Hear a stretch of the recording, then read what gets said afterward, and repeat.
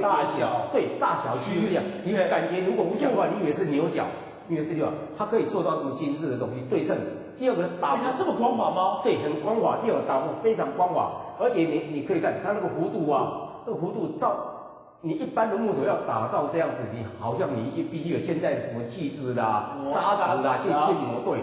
但他以前几几十万年前、二十万年前，他做到这样的。对，现在有人一直在探讨，他是不是用黑曜石慢慢去去打？不知道，我们不知道。但他至少留下证据说，包括这一个，这对也是一样，他都是采采取对称的，然后可以做到这么精致。